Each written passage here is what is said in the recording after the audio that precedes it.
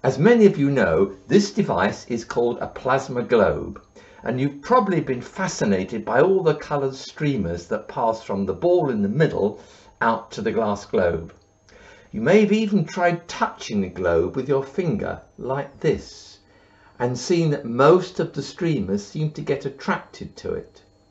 But did you know that the glass globe is filled with very low pressure neon gas and that the voltage on the ball in the middle is about 24,000? Now, Let's try a couple of experiments. First of all, a fluorescent light bulb. If we take the bulb close to the globe, but not actually touching it, you see that the bulb lights up. Take it away again, and the bulb goes out. I've also got a simple strip light, and if you watch as I bring it close to the globe, again not touching it, the closer to the globe you get, the more it lights up. This now looks very much like a weapon that features in a series of well-known space movies.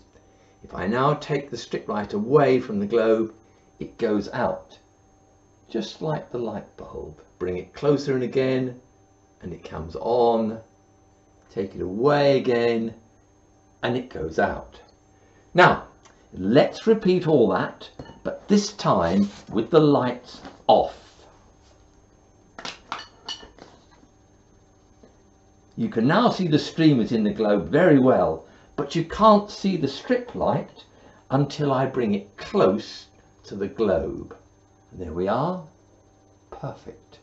It looks even more like the weapon than it did before.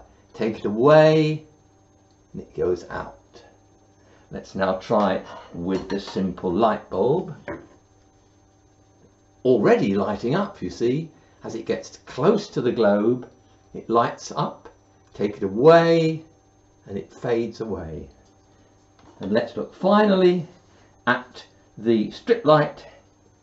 It lights up when you bring it closer in, and it goes out when you take it away again. You may wonder what is the physics behind these experiments? Well, it's all to do with electric fields, but I will cover that in another video.